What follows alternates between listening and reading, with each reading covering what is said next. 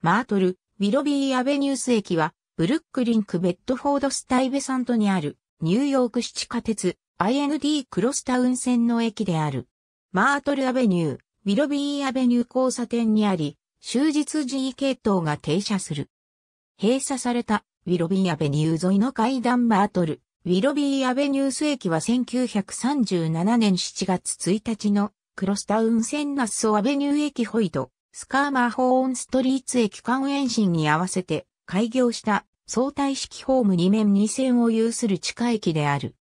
ホーム壁面には濃緑色で縁取りされた淡緑色の帯が水平に引かれており、淡緑色で縁取りされた濃緑色の地に白のサンセリフ体でマートル、ウィラビーアーベニューとレタリングした駅名標が取り付けられている。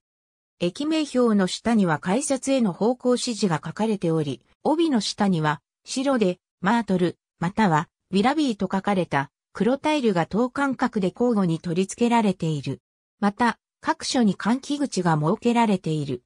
ホームには青い愛傾向の柱が等間隔で立っており、一本置きに黒地に白でレタリングしたニューヨーク市地下鉄標準の駅名標が取り付けられている。ウィロビーアベニューにあった階段は閉鎖され現存しない。両ホームは改札内にある連絡通路で接続している。ありがとうございます。